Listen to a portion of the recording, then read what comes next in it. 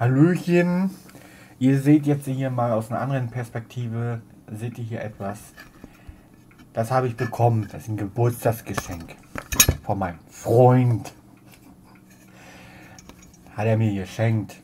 Und das kann ich auch ganz gut brauchen, weil ich blende euch mal ein, was ich mir da zurecht gebastelt habe. Und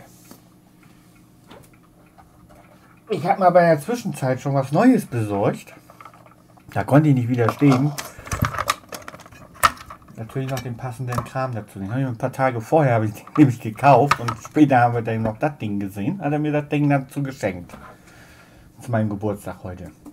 Aber das hatte ich mir gekauft. Und zwar ist das hier vom Proxon halt dieser Multi-Schleif-Gedöns-Dings.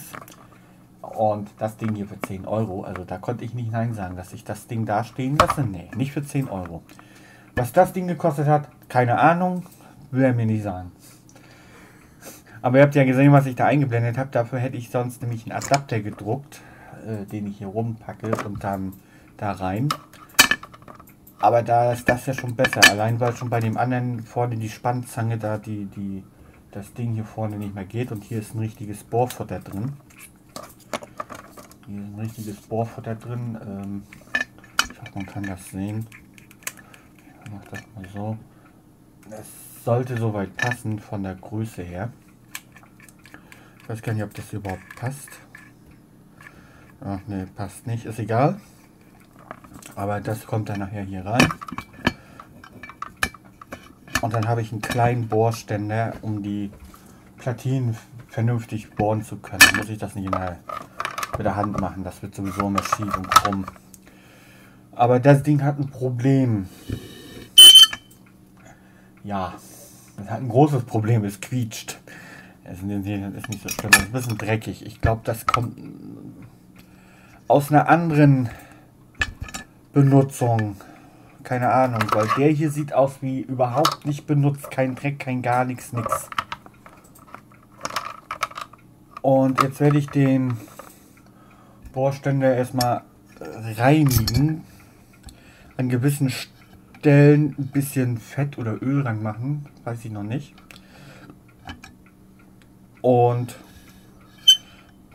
schon mal auf die Höhe einstellen, denke ich mal, die ich brauchen kann nachher für Platinen bohren, weil für mehr würde ich das Ding auch nicht großartig benutzen. Aber dass ich die Platinen gebohrt kriege, nur ein bisschen sauber machen, zumindest hier hinten drin, da ein bisschen fetten Ölen und dann ist das Ding soweit wieder gut. Also wollte ich euch mal zeigen, das habe ich jetzt zusammen. Jetzt habe ich hier einmal ordentlich was Schönes. Ich habe geguckt, was das insgesamt mal kosten würde. Also, äh, so wie das jetzt hier so steht, würden wir bei um die 120 Euro liegen. In etwa. Weil allein das Netzteil, das kriegt man mit dem Ding zusammen nicht unter 90 Euro oder 80 Euro, sagen wir es mal so. Das Ding hier selber kriegt man für 50. Aber das Netzteil dazu und, und den Bohrständer noch dazu, Proxon ist wirklich teuer, ist aber auch gut. Kann man nicht meckern. Es gibt noch äh, die Geschichte auch mit Spannzangen. Aber das brauche ich nicht. Da muss ich dann immer gucken, ob ich die richtige Größe habe. Aber es passt so. Ja, das wollte ich euch nur mal zeigen. Das mache ich mir jetzt hier fertig bin ich meinem Freund auch ganz toll dankbar, dass ich das Ding noch gekriegt habe dazu.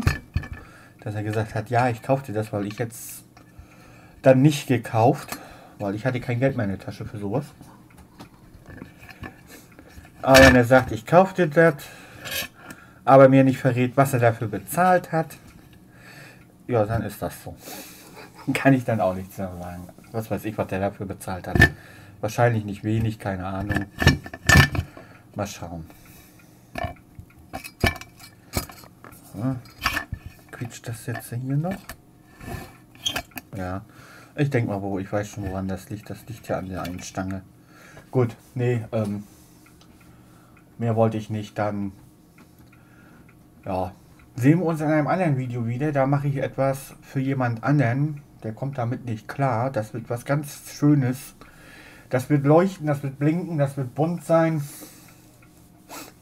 werde ich ja für ihn mal fertig machen, weil er kommt damit nicht klar.